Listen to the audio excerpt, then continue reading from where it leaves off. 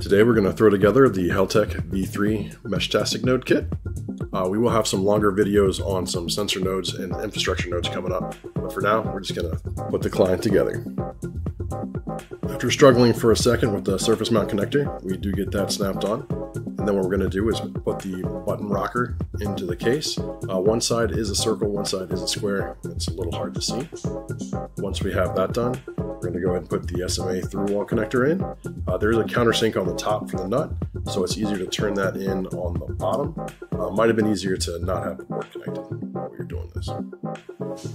With that done, we'll screw in the board screen side down, of course. We'll add the antenna before we add power. And then once we add the power, the board should go ahead and power up, and we'll see that here in a second.